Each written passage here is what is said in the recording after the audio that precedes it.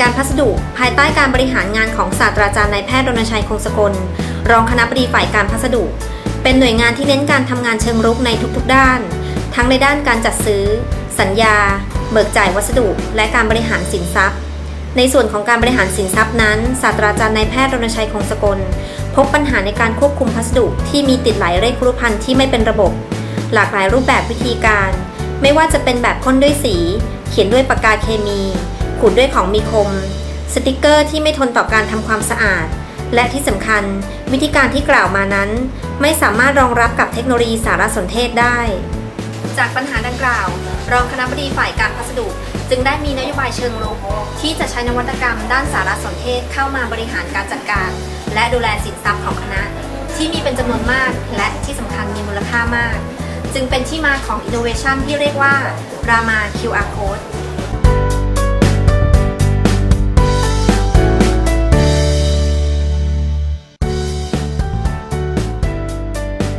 QR code ใครๆก็ใช้ได้แหลมจริง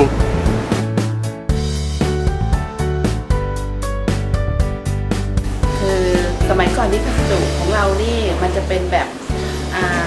ใช้ใช้พ่นสี ใช้พ่นสีเนี่ยเวลามาพ่นสีที่เนี่ยเราต้องไปตามพัสดุมาขึ้นขึ้นมาพ่นให้พอพ่นให้เนี่ยพัสดุเราบางครั้งมันติดอยู่กับเตียงผู้ป่วย เพราะฉะนั้นเวลาพ่นสีที่เนี่ย มันจะมีกลิ่น เวลาคนไข้ไม่ว่าจะเป็นเหม็นกลิ่นเหม็นกลิ่นอะไรเนี่ยคนไข้จะจะมีการมีการแบบฟ้องมีการแบบบ่นระยะต่อมาก็เป็นพวกใช้ขูด ใช้ขูด ใช้ขูดนี่ผลดีคือมันอาจจะติดแน่นติดทน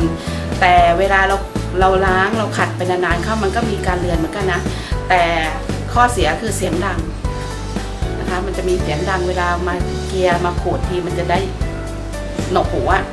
มารุ่นหลังเนี่ยรุ่นรุ่นล่าสุดเนี่ยเขามีเป็นเป็นบาร์โค้ดออกมาเนี่ยพี่ก็ว่ามันก็โอเค คือหนึ่งคือไม่มีกลิ่นไม่มีเสียงแล้วก็อีกอย่างหนึ่งเห็นง่ายนะคะ เวลาล้างน้ำอ่าเช็ดแอลกอฮอล์อะไรก็ไม่ลอก มันก็โอเคอะ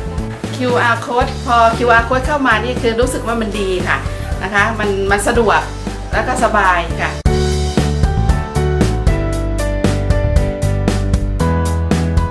ค่ะก็เมื่อก่อนนะคะพลังงานที่ทำเนี่ยก็จะไม่ได้ทำงานเกี่ยวข้องกับพัสดุมากนักนะคะ ช่วงหลังเนี่ยเริ่มมีการทำงานเกี่ยวข้องเพิ่มมากขึ้น ก็พบว่างานพัสดุเนี่ยมีการทำงานเชิงรุกเพิ่มมากขึ้นมาก ๆเลยนะคะ แล้วก็ในเรื่องของมีการพัฒนางานต่างๆ เพิ่มมากขึ้นอย่างเช่นในเรื่องของ QR code นะคะ ซึ่ง QR code เนี่ยจะช่วยในเรื่องคิดว่าช่วยในเรื่องของความสะดวก มื่อก่อนเนี่ยเวลาจะโอนพัสดุเก่ามาใช้อะค่ะ ก็ต้องไปนั่งจดเลขทะเบียนของคารุพันธ์นะคะเดี๋ยวนี้ก็ไม่ต้องแล้วเพราะว่ามี QR code นะคะ นอกจากนั้นเนี่ยยังช่วยในเรื่องของความสวยงามด้วยเมื่อก่อนจะเป็นอาจจะเป็นลายมือเขียนตัวใหญ่ๆใช่ไหมคะเดี๋ยวนี้เป็นสติกเกอร์เล็กๆมาติดก็ทำให้เพื่อออฟฟิศดูสวยงามมากขึ้นนะคะ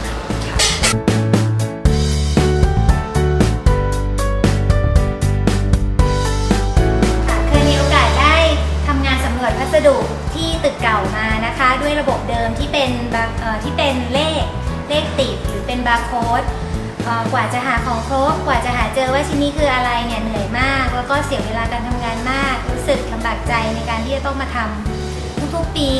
แต่ว่าสำหรับระบบใหม่ที่เป็น QR code ที่ได้มีโอกาสได้ทำตอนนี้รู้สึกประทับใจมากค่ะ มันมหัศจรรย์มากเลยทำให้เราทำงานง่ายขึ้น เพียงแค่เราเอาโทรศัพท์มือถือส่องเข้าไป เราก็รู้ว่ารูพันธ์ชิ้นนี้คืออะไรแล้วอยู่ที่ไหน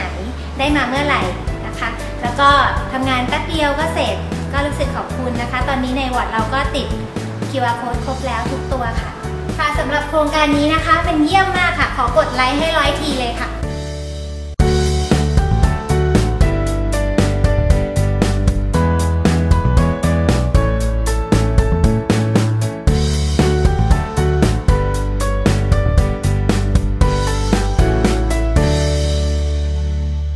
QR code ใครๆก็ใช้ง่าย มันเจ๋งจริง ๆ